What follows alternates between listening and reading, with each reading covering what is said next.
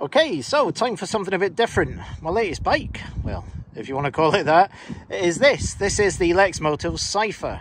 Now it's equivalent to a 50cc bike. However, this one is de-restricted, so it will do up to 45 miles an hour and between 40 to 60 miles.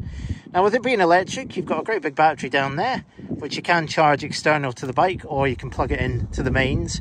And I've bought it primarily for commuting. I don't want to use my bike or the car. It's only a three mile commute and this is perfect. I've got to say, initial impressions, I've been thoroughly impressed. You've got LEDs everywhere for brake lights, indicators and so on. You've got a decent build quality, it's not your usual cheap Chinese rusty screws and bolts and so on. And it rides really well. It's around about the size of a Honda MSX 125, the Grom which everybody loves.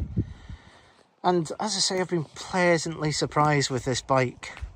For just over two and a half thousand pounds brand new, it's a great form of transport for those who have either just got their CBT or have a full bike license and just want something to get them to work, to the shop, or to have a little bit of fun.